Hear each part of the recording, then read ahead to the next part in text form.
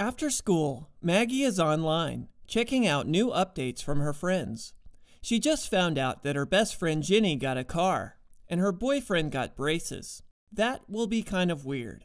Then Maggie gets a message that someone she doesn't know wants to friend her. That means the person will be able to follow Maggie's updates, look at her pictures, and see her other friends.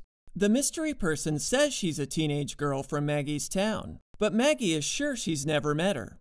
You're probably thinking, Maggie, don't do it. And you're exactly right. It's just not a good idea to friend a stranger online. Even though the mystery person claims to be another teenager, who knows? They could be a creepy dude from far away.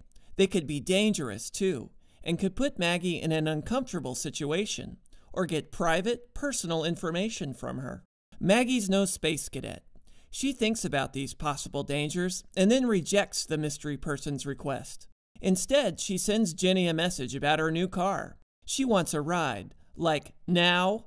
So, how should you decide who to be friends with online? Figuring that out is pretty simple, actually. If you're friends with someone in the real world, it's okay to be friends with them online. This rule goes for all kinds of websites, chat rooms, email, text messaging, and instant messaging.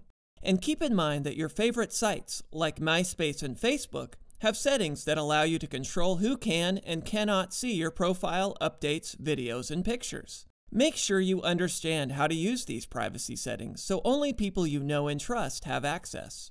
Think about it. You get to know your friends by hanging with them, seeing them around town, and going to school with them.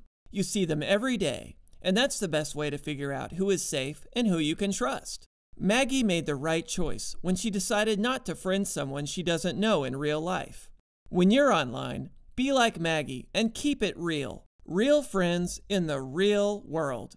It's the best way to stay safe and keep things awesome.